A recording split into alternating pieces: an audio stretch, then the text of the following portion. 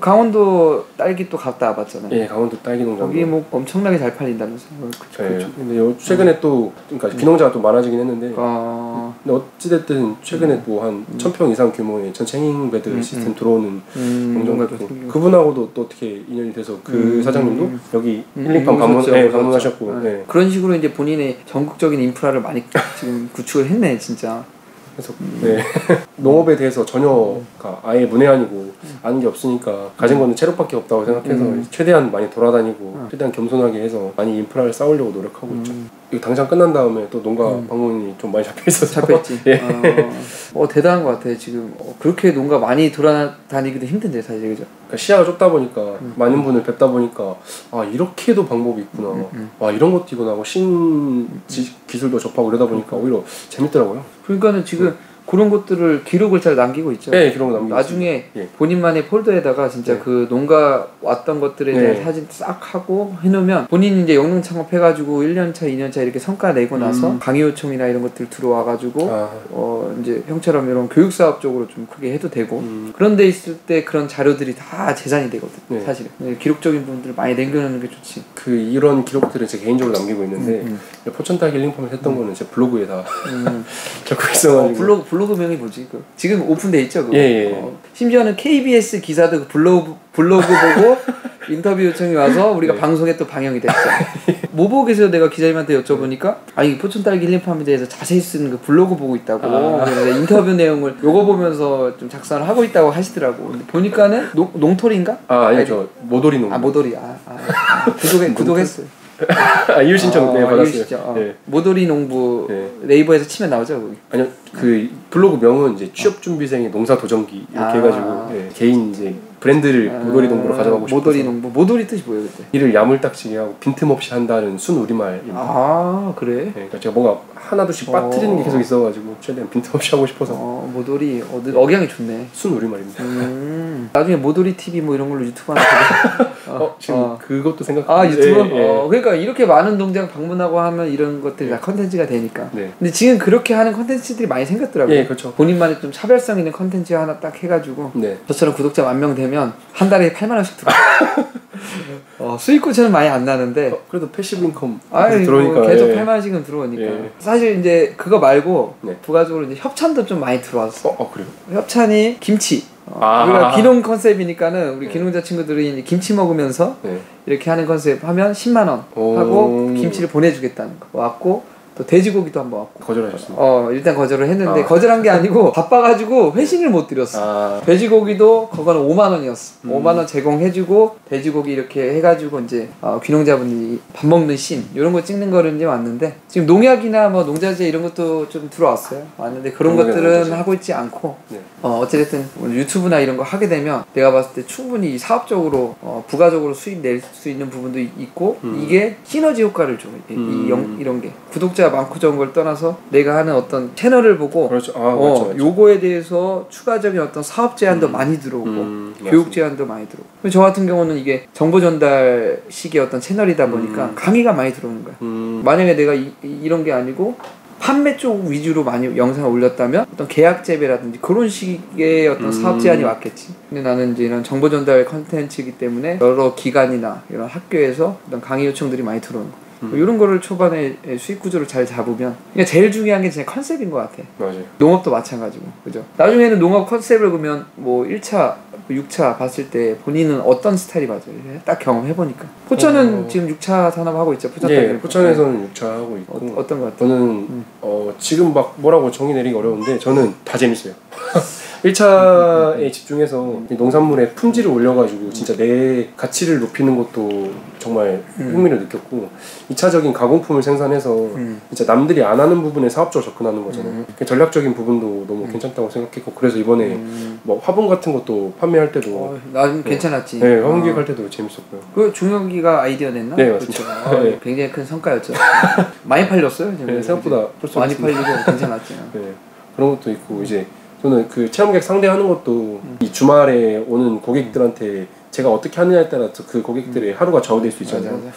네, 그런 것도 생각보다 재밌어서 이게 자영업 측면으로 접근해도 음. 어 괜찮네 싶어서 농업에서 할수 있는 게 워낙 많다 보니까 진짜 주말에는 일이 부담되고 이런 게 없고 진짜 재밌었지. 네, 맞아요. 그죠? 재밌었어요. 네. 손님들 많이 만나고 네. 뭐 재밌게 농업했었지 그때. 손님들께서도 좋은 네. 말씀 해주시는 분들이 워낙 맞아, 많아가지고 맞아, 맞아. 네. 청년들이 이렇게 많이 이렇게 육- 육체산업 농업으로 체험 교육 이런 거 하다 보니까 네. 조언들도 많이 해주시고. 그. 명함 주시고 어. 연락하면은 그 차리 농장 한번 가겠다고 이러고 아, 계시고 어, 네. 그래요? 예. 어, 괜찮네. 네. 그러니까 사실은 지금 단계에서부터도 아, 명함 하나 갖고 다니면 좋지. 음 내가 이제 몇 번 얘기했지만 네. 그 이제 저 같은 경우는 19년도에 농장이 없을 때 명함을 한 천 장 이상 뿌렸을 거야. 지금 내가 주문한 어, 이력을 보면 되는데 처음에 내 명함 자체는 사명을 미리 정해놨지. 포천 딸기 힐링팜이라고. 네. 그리고 가로에서 뭐 2020년 완공 예정해놓고 뒤에다가 나에 대한 정보를 싹 넣는 거지. 음. 그래서 어디 가서 누구 사람을 만날 때나 뭐 할 때나 농업 준비하는 사람이다 하고 꼭 명함을 드려야 돼. 음. 뭐 그게 이제 비즈니스의 가장 첫 번째 이제 기본. 음. 그래서 내가 맨날 여기 있으면서도 어, 임시 명함이라도 만들라고. 그게 나중에는 도움이 많이 되거든. 음. 공무원을 만날 때도 명함이 있는 사람과 없는 사람 처음에 음. 인사할 때도 어 이제 아, 안녕하세요 누굽니다 하는데 명함을 주면서 누굽니다 하면 한번 보게 되는 거야. 아이 음. 친구가 포천에서 이렇게 하려는 친구고 지금 청년 농업인이네. 서로 명함 주고받고 하는 거에 또 이게 소통이 되는 건데 아. 딱 가서 인사를 했는데 상대방은 명함 주는데 내가 줄 게 없다 하면은 그때부터 그렇죠. 약간 좀 예. 어, 신뢰 신뢰감에서도 좀 무너진 경우가 있어. 명함 이제 바로 이제 요거 나가면 만들고 어, 오늘 하나 만들 것 어. 네. 명함 뭐 해봤자 200장에 만 예, 원이면 만드는데 앞으로 이제 영농 창업을 좀 할 거잖아요. 예. 그죠? 어.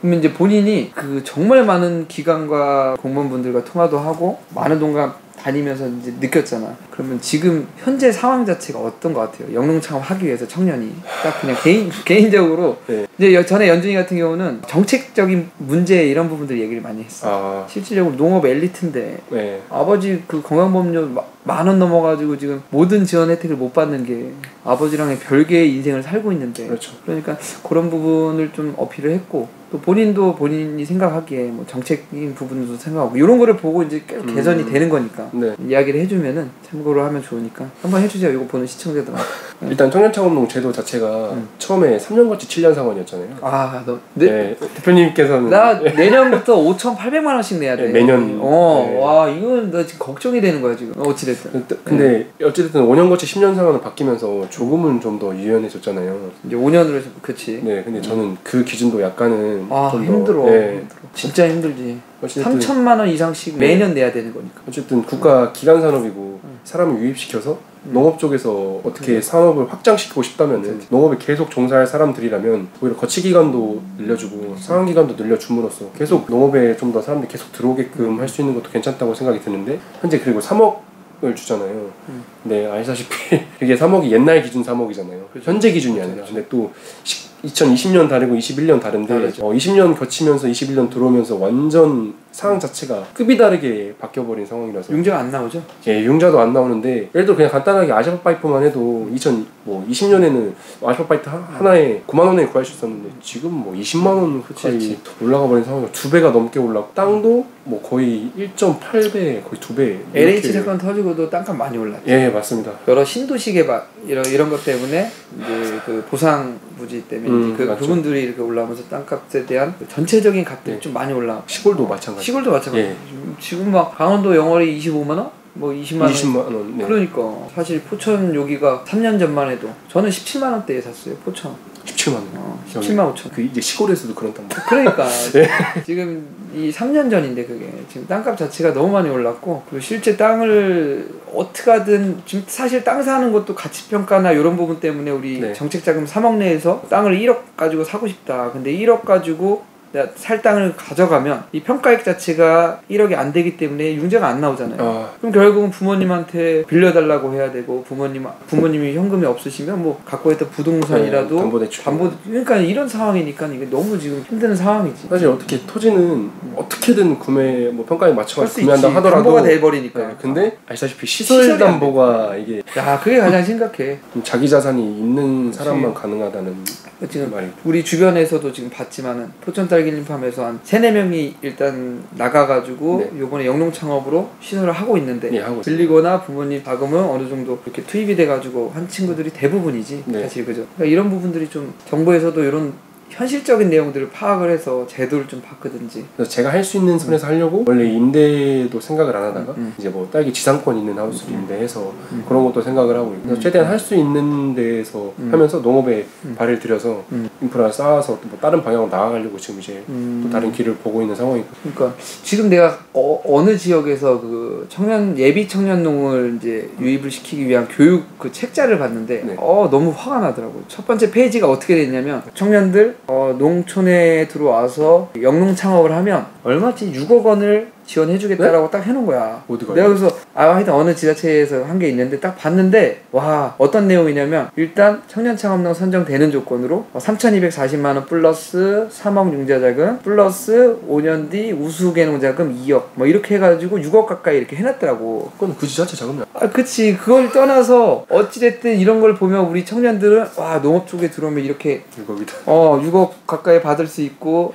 이렇게 이제 할 수가 있는 거고 또 그런 것들을 외 부에서 보면 일반 우리 국민의 인식 자체가 아 청년들 농업하면 정부에서 돈만 쓸어다 준다 그렇죠. 막 이렇게 인식하는 경우가 많아 우리 청년창업농이 이 정부제도 고정금리 2%를 만약에 받으면 보증료가 있어 보증료 3억에 대한 융자자금을 받으면 보증료가 200만 원 가까이 내야 돼 보증료까지 계산을 하면은 금리 딱 보면 이게 뭐 금리 차원에서도 굉장히 메리트 있는 그런. 부분이 조금 떨어질 수가 예. 있지 본인 입장에서는 바로 영농 창업을 어, 하기 위해서는 좀 힘든 상황이다 지금 네 본인은 그러면 앞으로 계획이 어떻게 돼요? 내년에는 뭐 이런 정책이나 음. 선정이 돼서 진행을 할 예정이에요? 아니면 좀 더 이제 일단 지켜볼 예정? 일단 하반기에는 그 농업법인 회사에 들어가서 일을 하면서 음. 사업적인 부분을 제가 아직은 귀농 결심해서 일한 지 자체가 6개월밖에 안 돼가지고 음. 딸기 작게 짝기 뭐 딸기든 어느 작물이든 전문성 자체가 부족하기 때문에 이런 그런 전문성을 쌓기 위한 교육을 이제 다시 음. 받을 거고 또 사업적인 부분도 또 추가적으로 배우고 싶고 그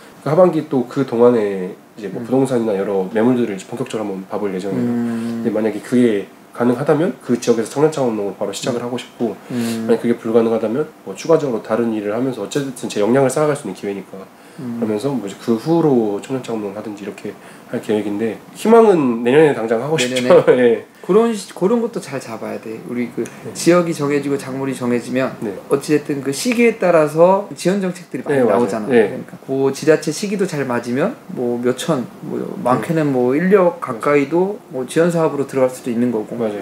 그러니까 사실 체계적으로 정말 디테일하게 준비를 잘 해야 되는 거지.